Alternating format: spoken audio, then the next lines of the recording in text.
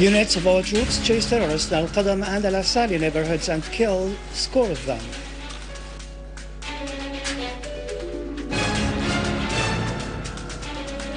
Al-Jafari affirms that the states which allege defending human rights are the same sides that grant Israel an illegal immunity for its crimes in occupied Arab land.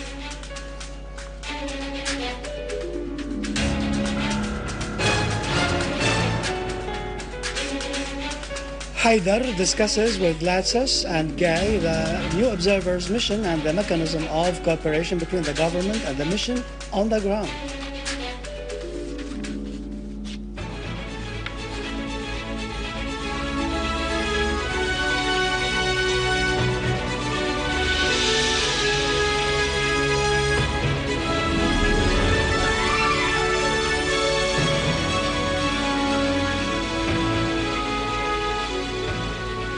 Good afternoon, ladies and gentlemen. Welcome to our news for today. Units of our armed forces continue to chase remnants of armed terrorist groups in different parts of Damascus suburbs, clashing with terrorists in Al-Qadam and Asali quarters, killing and wounding large numbers of gunmen.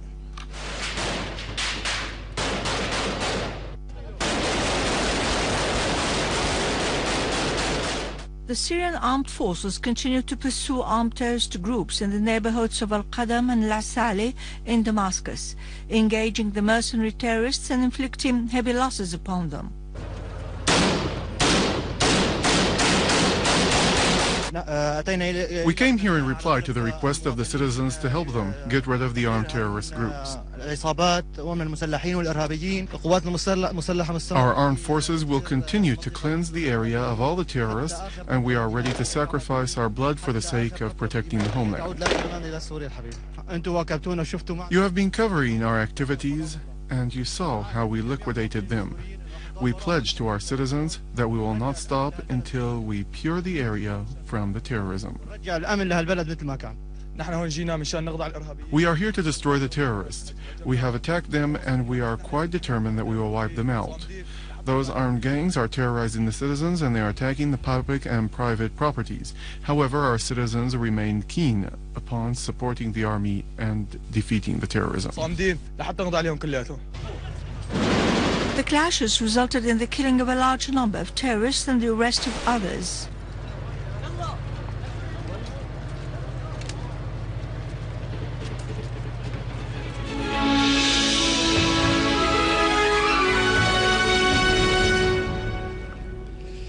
Syria's permanent representative to the UN, Dr. Bashar al-Jafari, has referred to the attempts by certain sides to cover up the failure to find a solution to the Arab-Israeli conflict due to Israeli intransigence through imposing other topics on the discussions of this provision with a view of weakening its known references. Al-Jafari was delivering Syria's statement during the open ordinary session held by the UN Security Council yesterday to discuss the provision entitled The Situation in the Middle East. He said Syria has conveyed to the UN Secretary General and the members of the UN Security Council complaints related to Zionist violations of international legitimacy resolutions and the policy of Russian racial discrimination and suppression against Syrian citizens and occupied Syrian Golan that included building a segregation wall in the Golan east of Majd al-Shams village. Al-Jafari also referred to some futile attempts to deal a blow to the Syrian-Lebanese relations, affirming the, at the same time the strength of these relations. He welcomed the measures taken by the Lebanese official authorities to monitor joint borders. Russia's permanent representative to the UN, Vitaly Churkin, has affirmed Russia's principled stance towards the Syrian crisis and its call for speeding up a peaceful settlement through national dialogue between the government and the opposition without foreign intervention. During the UN Security Council session, Churkin said his country was ready to host possible negotiations between representatives of the Syrian government and the opposition in Moscow. He added that Russia notified the UN of its readiness to send 30 military observers to take part in the UN monitors mission in Syria. State Minister for National Reconciliation, Dr. Ali Haider, discussed with UN Undersecretary for Peacekeeping, Operations, Hervé Ladsous, and head of the UN mission in Syria, General Babacar Gaye, the mission of UN observers in Syria following one month extension. Mechanisms of cooperation between the ministry and the UN team, especially the prospects of political reconciliation in the country. Dr. Haider said in a statement to the press following the meeting that he discussed with the UN mission the true intention and seriousness of observers to make available 10,000 Syrian volunteers of high qualification to be active in different domains, adding that the ministry is ready to solve all the problems on the ground in order to stop violence as soon as possible. The State Ministry for Reconciliation Affairs is ready to solve all the issues that are hindering the United Nations mission, if their intention is sincere so that they can have an effective role in stopping the violence and holding responsible those who are carrying it out on the ground. In a statement, the Foreign and Expatriates Ministry has said that news media reported over the past two days news that had to do with ministry employees who chose to leave their work within Syrian diplomatic missions and head to a specific Arab capital that has been known for financing and encouraging such kind of employees to defect in return for offers, the nature of which is no more a secret and which many inside and outside the ministry have rejected.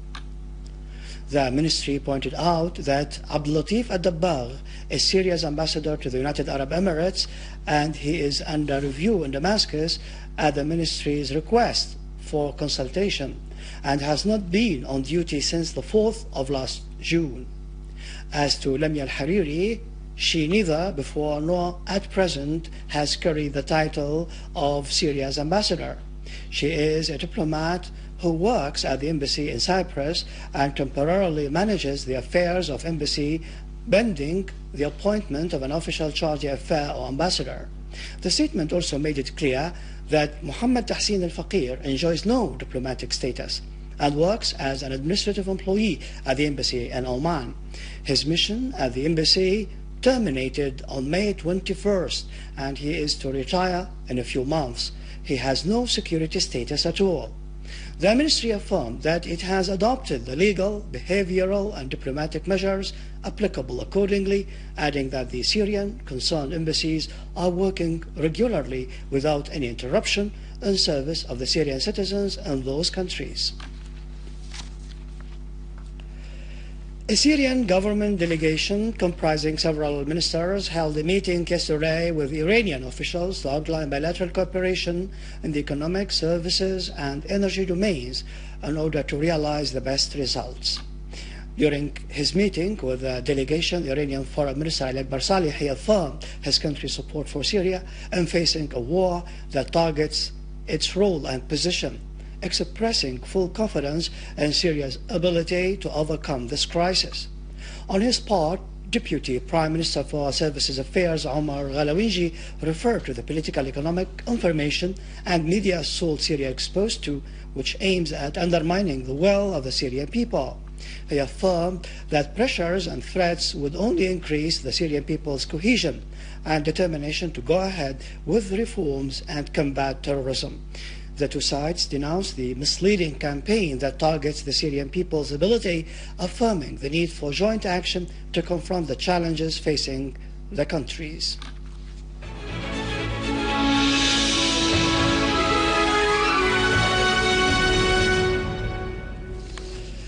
Twelve Iraqis were killed as a helicopter crashed with armed clashes intensified during the last two days northeast of Iraq armed men opened fire at a helicopter, forcing it to have an emergency landing, as 11 policemen were killed following clashes near Bakuba. This came on the wake of a series of attacks which killed 116 Iraqis and wounded dozens others. Finally, Turkish warplanes bombarded Kandil mountains and villages at the foot of mountains in Iraq. Turkish jets have bombarded Saragola and Kortekian villages at 11 p.m.